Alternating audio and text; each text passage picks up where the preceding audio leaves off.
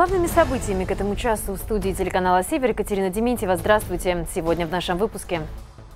К месту разлива нефти на реке Колва вылетела следственная оперативная группа, которой предстоит определить площадь загрязненных участков, объем вылившейся жидкости и затем оценить вред, нанесенный окружающей среде. Несколько лет назад на одном из участков дороги Нарьинмар-Красная для укрепления полотна было решено использовать нанотехнологии. Предполагалось, что это увеличит срок службы дорожного полотна, однако все произошло с точностью да наоборот. 20 октября отмечается Международный день повара. Секретами мастерства и фирменными рецептами с нашими телезрителями поделятся шеф-повар ресторана «Тиман» и домашний кондитер. Плюс 3, минус 3. В минувшие сутки в Ненецком округе зарегистрировано три новых случая заболевания COVID-19. Трое жителей округа выздоровело. Таким образом, общая статистика заболеваний коронавирусной инфекцией в регионе остается на уровне предыдущего дня. А вот цифра самоизолированных несколько настораживает. На сегодняшний день на самоизоляции на дому находится 624 человека. Плюсом за сутки сразу более 250 изолированных. Что касается новых случаев заболевания, то COVID-19 обнаружен у двух жителей города Нарьинмара и одного жителя из села Тельвиска. Всего на территории региона в настоящее время от коронавирусной инфекции проходит лечение 64 человека. Восемь из них лечатся в стационаре, остальные амбулаторно. Напомним, в регионе введен режим двухнедельной самоизоляции для всех граждан, прибывающих в округ с других территорий. Соблюдение самоизоляции в течение двух недель может быть отменено при наличии справки с отрицательным анализом на коронавирус по результатам ПЦР-тестирования, проведенного не ранее, чем за три дня до прибытия в округ. Как сообщили в Департаменте здравоохранения, труда и социальной защиты населения, менее чем за неделю режим самоизоляции, действующий в регионе, позволил выявить 8 заболевших коронавирусной инфекцией. Все пациенты прибыли в Ненецкий округ с территории других субъектов Российской Федерации, а перед этим сделали тесты, которые впоследствии показали положительный результат. Сделать тест можно и по прибытию в Нарьинмар. При строгом соблюдении масочного режима оплачивается тестирование самостоятельно. К месту разлива нефти на реке Колва вылетела следственно-оперативная группа. Следователям предстоит определить площадь загрязненных участков, объем вылившейся жидкости и впоследствии оценить вред, нанесенный окружающей среде. Напомним, 17 октября 2020 года около 11 часов при проведении технологических работ на выведенном из эксплуатации участке нефтепровода ЦПС «Южная шапка» терминал Харьяга, расположенном на территории Ненецкого округа, обнаружен прорыв трубопровода и разлив нефтепродуктов. У следственных органов есть основания полагать, что были нарушены правила охраны окружающей среды при эксплуатации промышленных объектов – Возбуждено уголовное дело по признакам преступления, предусмотренного статьей 246 Уголовного кодекса Российской Федерации «Нарушение правил охраны окружающей среды при производстве работ». Дело принято к производству Нарьинмарским межрайонным следственным отделом. На текущий момент самое важное – это ликвидировать угрозу распространения загрязняющих веществ для этого э, с недропользователем у нас в режиме онлайн установлен контакт. Каждые несколько часов получаем обратную связь и по линии МЧС, и от недропользователя от компании «Лукойл Коми». Э, они привлекли как аварийно-спасательные формирования. На текущий момент и губернатор обратился к компании с предложением о помощи. Но на текущий момент, как нас заверяют, силы и средства в достаточном объеме э, собственных формирований хватает и техники хватает. На месте разлива в настоящее время работают аварийно-спасательные формирования предприятия «Лукойл Севернефтегаз» и специального аварийно-спасательного формирования «Природа» из города Усинска. В общей сложности задействовано 152 человека и 39 единиц техники, в том числе 11 плавательных средств. Работы ведутся в две смены. К четырем боновым заграждениям, растянувшимся на 1600 метров, к вечеру 19 октября добавился пятый заградительный рубеж в 120 километрах от места разлива длиной более 500 метров. Завезено оборудование для установки шестого бонового заграждения. Телеканал «Север» продолжает следить за развитием событий. Территория Ненецкого округа станет больше, а Хасе-Дахарский сельсовет с центром в поселке Харута не только будет иметь административный статус муниципального образования Ненецкого округа, но и войдет в его территориальные границы. В настоящее время Ненецкий поселок Харута официально находится за границей Ненецкого автономного округа. По сути, его местоположение определяется границами Республики Коми. Чтобы исправить эту неудобную для обоих субъектов Российской Федерации ситуацию, решено было пересмотреть границу между Ненецким округом и Республикой Коми. Соответствующее дополнительное соглашение о местоположении границы было подписано главами региона в мае 2020 года. На октябрьской сессии регионального парламента его утвердили депутаты. При уточнении границ выяснилось, что наша узловая точка ушла э, более чем на 70 метров, а по нормативам она должна э, быть точнее 50. То есть по э, изменениям и уточнениям, которые сейчас провели, точно составляет 12,5 метров. Соответственно, уже утвердив эту точку, то есть губернатор подписали соглашение в утверждении и собрание депутатов утвердило, можно вести дальнейшие работы по уточнению границ. Следующий этап – установление новой линии границы Ненецкого автономного округа.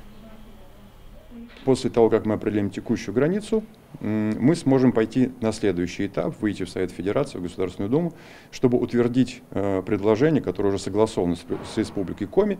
То есть мы получаем в этом случае дополнительные земли, то есть увеличивается площадь Харуты, то есть можно будет сделать э, взлетно-посадочную полосу именно на территории Ненецкого автономного округа. Сейчас она частично получается на территории Коми. Таким образом, площадь НАО увеличится.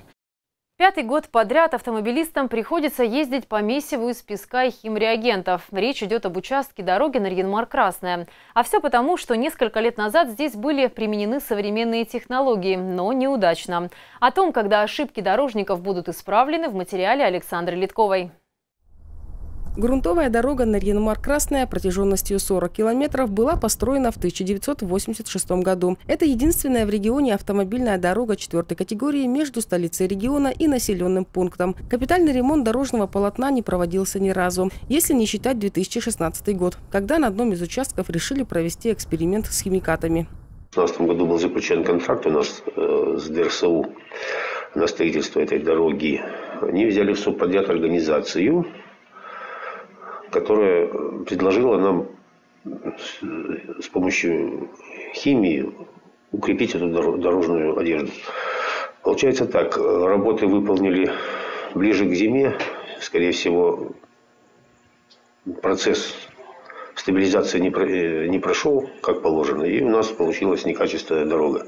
Еще три года назад общественники Народного фронта настаивали на том, чтобы прекратить ремонтные работы на проблемном участке дороги. На данный момент эта грунтовка занимает первое место в рейтинге убитых дорог Ненецкого округа. В Общероссийский Народный фронт уже поступили сотни жалоб. Вопросы э, содержания дорог, они э, находятся на контроле Общероссийского народного фронта. Мы периодически проводим рейды, э, иногда рейды проводим с участием Государственной инспекции безопасности дорожного движения по результатам которых выписываются предписания, проводятся работы по приведению дорог в нормативное состояние. В настоящее время ведутся работы по проектированию реконструкции дороги от поселка Красная до реки Петумбой. Предполагается, что проезжая часть будет отсыпана, приподнята, а также покрыта бетонными плитами. В этот участок грунтовки попадает и отрезок дороги, который обработан химией. Единственный выход для того, чтобы привести дорогу в нормальное состояние, это э, переделать тот участок, по которому, на котором использовали химию в свое время, против э, которого мы очень активно выступали, и заново положить дорожное покрытие. Вот для этого необходимы средства предусмотреть в окружном бюджете. В настоящее время у нас идет процесс формирования окружного бюджета. Мы, депутаты, которые представляют Общероссийский народный фронт в окружном собрании, приложим все усилия для того, чтобы деньги были запланированы и проконтролируем чтобы ремонт был проведен качественно, а не как э, в предыдущий раз, когда говорили, что сейчас дорогу вот вам отремонтируем, жителям поселка Красное все будет хорошо, а по итогу э, этого не произошло, хотя деньги были освоены. На ремонте одного участка дороги тогда было освоено почти 50 миллионов рублей. В качестве субподрядчика для проведения работ по укреплению грунта была выбрана московская компания ООО «КСК Дорстрой». Неоднократно обращались подрядчику, чтобы восстановили эту дорогу. Но как у нас и не получилось с ним связаться, сейчас готовим документы в суд на ДРСУ, соответственно, ДРСУ дальше на субподрядчика своего, чтобы как бы возместить наши затраты. В зимний период содержанием дороги будет заниматься компания «Строй Универсал». С региональным подрядчиком заключен государственный контракт. А пока в нормативное состояние ее привели первые морозы. Когда снег сойдет, автомобилистов ждут очередные испытания. Александра Литкова, Вадим Стасюк, Леонид Шишелов, телеканал «Север». Сегодня во всем мире отмечается Международный день повара. По этому случаю специально для наших телезрителей шеф-повар ресторана «Тиман» приготовит нам традиционные блюда ненецкой кухни, а домашний кондитер порадует рецептами десертов. Тему продолжит Наталья Дуркина. Сегодня мы будем готовить традиционное ненецкое блюдо. Ненецкие блюда – это сугудай из белой рыбы, это жировня из оленины и десерты царской ягоды них подавать царскую ягоду, морожку. Для приготовления первого блюда нам понадобится филе белой рыбы, лук, лимон, соль, перец, масло и немного зелени. Для начала берем и нарезаем филе кусочками по одному сантиметру и выкладываем на тарелочку. Первый слой необходимо посолить и поперчить. Затем переходим к луку. Нарезаем.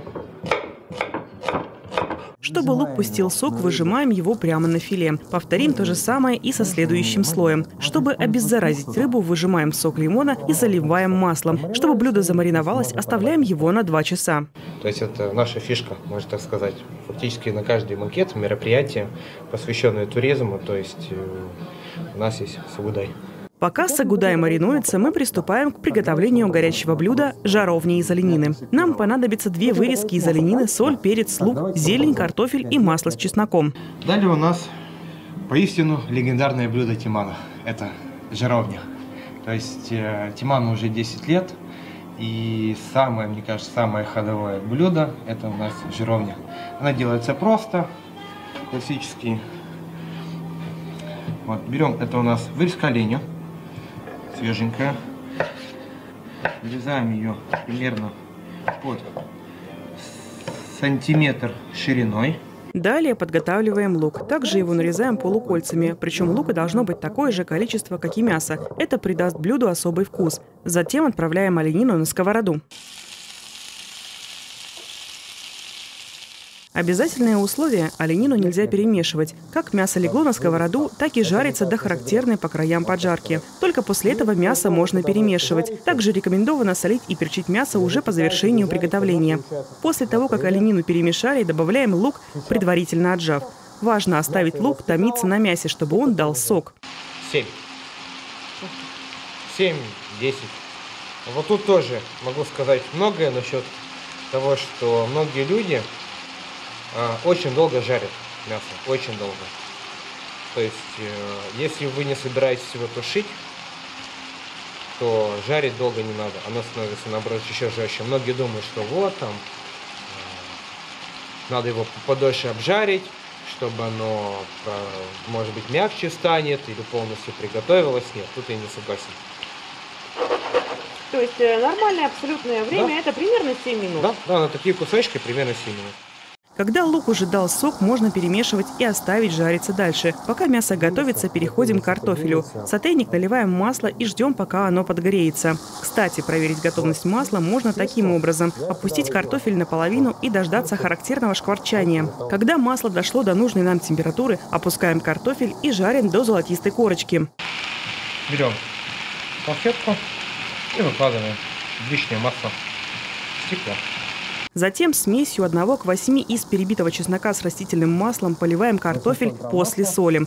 Когда мясо приготовилось, выкладываем его на блюдо и добавляем картофель. Сверху посыпаем зеленью. Жаровня из оленины готова. Переходим к десерту из царской ягоды. Так как морожка сама по себе не требует особых добавок, мы ее посыпаем сахарной пудрой и сверху поливаем сметаной. Для того, чтобы ягодки не помять при выкладке десерта, переливаем его в креманку. Праздничный ужин готов. Любовь к готовке Александру привила его бабушка, поэтому после школы был очевиден выбор будущей профессии. Александр поступил в техникум в городе Кишинев. Там при прохождении практики в единственном японском ресторане шеф-повар Шигеги Ямура увидел потенциал в молодом студенте. Практику проходил, потом мне предложили остаться на лето поработать. Я поработал летом и уже к осени, к сентябрю говорю шеф-повару, а шеф-повар у нас был японец Шигеки Ямура. Вот. И говорю, как бы мне надо научиться, идти учиться дальше. Он говорит, нет, ты не пойдешь никуда, я пойду договорюсь. По итогу он сходил в техникум со мной, договорился с директором, что я буду приходить только на лабораторные работы, на сессии, как бы Проработав около четырех лет в ресторане, Александру захотелось роста и разнообразия. Тогда преуспевающий повар занялся изучением европейской кухни. Его учителями были знаменитые шеф-повара Италии и России. На этом любознательность Александра не останавливалась, и он решил научиться готовить ненецкую кухню. Так состоялось его знакомство со столицей Заполярья. Александр признается, приехал всего на два месяца и не думал, что север может настолько затянуть. Здесь же Александр познакомился с будущей женой Оксаной, которая по счастливой случайности оказалась домашним кондитером. Любовь к выпечке мне, наверное, передалась материнским молоком. У меня мама очень любит печь, но в основном печет на булочке. А, у нее коронный торт – это Наполеон. То есть на все праздники у нас мама всегда пекла Наполеон, причем большой, из 32 коржей. Зачастую полночи сидела с этим Наполеоном, каждый корж нужно выпечь. И этот торт, наверное, любимый у всех э, наших родственников. Сама Оксана в старших классах готовила по журнальным и газетным вырезкам. А так как зачастую рецепты были неполные, девушка начинала экспериментировать. Намного позже, уже будучи в декрете, Оксана заказала торт у местного кондитера. Когда сидела в декрете с младшим сыном, ему было полгодика, я заказала торт. Девочка испекла, я у нее спросила, из чего. Она мне рассказала, из чего крем, из чего коржи. И тогда я поняла, что, в принципе, я же тоже могу испечь. Ничего сложного в этом нет. А, стала, зака... ну, стала искать на форумах, да, вот рецепты проверенные.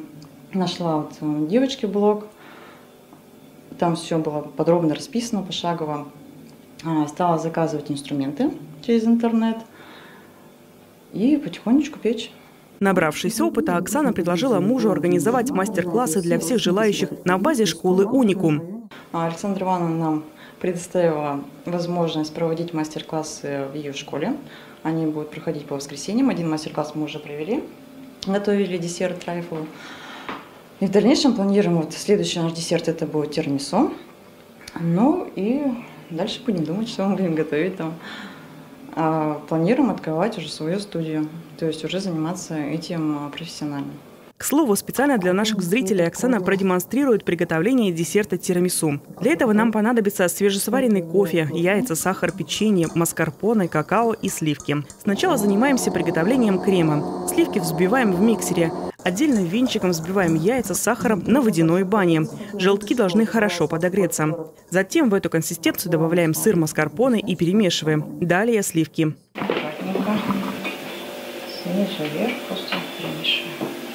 Следом переходим к сбору десерта. Берем печенье савоярди, обмакиваем в кофе и выкладываем слоями. Затем заполняем все кремом и повторяем слой. Важно помнить, второй слой должен идти противоположно первому. Так десерт станет устойчивым. Снова заполняем кремом и сверху посыпаем какао. Десерт отправляется в холодильник на 3-4 часа до полного приготовления. Приятного аппетита! Наталья Дуркина, Владислав Ткачев, телеканал «Север». Такова информационная картина этого дня. Далее смотрите прогноз погоды.